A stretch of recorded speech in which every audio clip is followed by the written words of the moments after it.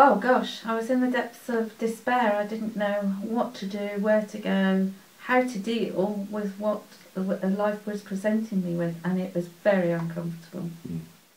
And what's what's happened in those four sessions? Oh my goodness. what hasn't what hasn't happened? I, I feel I've got my life back on track. I feel exceptionally energized. I feel happier within. It's transformational. Mm.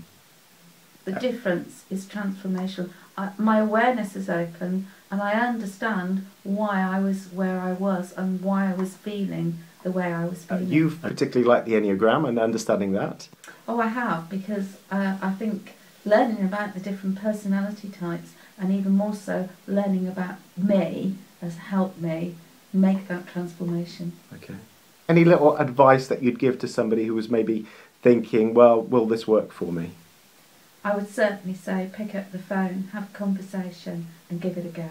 Because you won't be disappointed. Brilliant. Thank you.